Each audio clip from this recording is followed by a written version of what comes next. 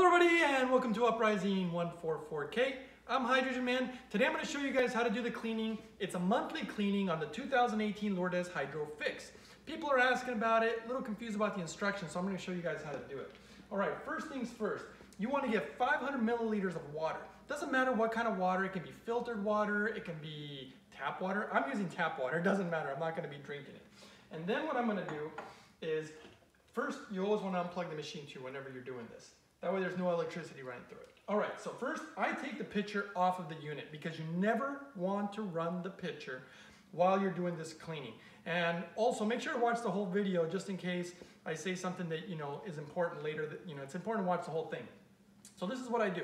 I take off the cap and I take out the hydrogen catcher, okay? So then this is what I do. And never put citric acid directly into the pitcher first. Never do that. Actually, the instructions will tell you to put water in here first and then you can add citric acid. You can do it that way, but for me, I wanna take extra special care of my Lourdes Hydrofix. And so this is what I do. I'll take the 500 milliliters of water and then I'll take one teaspoon and it's just a level teaspoon and I'll put it in this water here and then I'll mix it and completely dissolve it before I ever put it in the machine.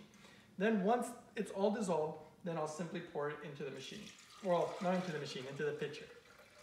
All right, so there. The citric acid that I use, you really want to make sure to use really quality stuff. I did a lot of research on this and I found out that a lot of the Chinese products that claim that they're 100% citric acid are not actually 100% citric acid. What a surprise, right? So this stuff is actually made in America. It's 100% pure citric acid and it even goes through a special process where it's more fine. So that way it dissolves in the water really, really nicely and leaves less of a residue or is less likely to leave a residue. If you guys wanna know what type of citric acid I'm using, I'll go ahead and put a link down below. And if you guys find something that you believe works better, you're always welcome to share and I'm always up to learning. So do it that way. Now, when the water is in the pitcher, again, never put it back on the machine, never run it. I leave it off the pit, off the machine, you know, just to be cautious. You leave the water in here for 10 minutes. If you're doing this once a month, you leave it in there for 10 minutes. You can leave it as long as 30 minutes if you like.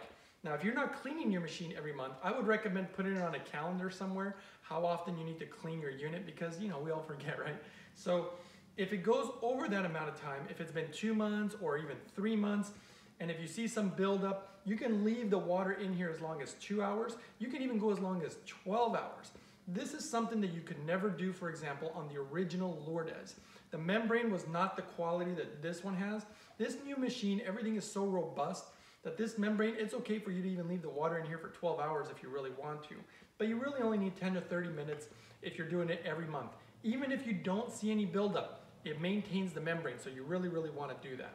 So once you do that, let's just say that it's been 10 minutes or half an hour, I would dump this water into the sink, and then what I would do is make sure to just give it a nice thorough cleaning since you already did it. So I would rinse the pitcher out and I would wash it with my designated Hydrofix sponge that I got here that's really soft. And I put a lot of water in here and I just make sure not to get anything into the electrodes. Just clean the pitcher. I have another video about how I do that.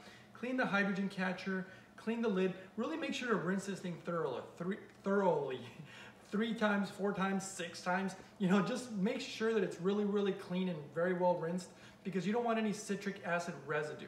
Once that's done, that's pretty much about it, unless for some reason you wanna go above and beyond. And with the unit, you can actually drain the unit if you want, and you can clean kind of in the basement area where the little puddle of water is. If you drain it, you can use a paper towel, or you can use some Q-tips to get the little dust out of there. You can even remove the filter if you wanna clean in around, you know, the different areas of the unit.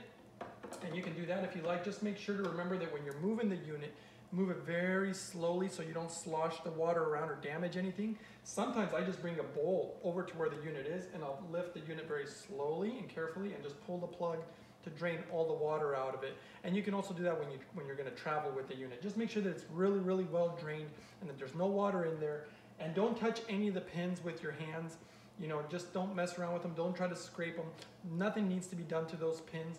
And that's about it, guys. So hopefully you guys found that helpful as far as how to do your monthly maintenance on your Hydrofix. And don't forget to subscribe and like if you're enjoying the videos and it helps the channel. And I'll see you guys next time on the next video.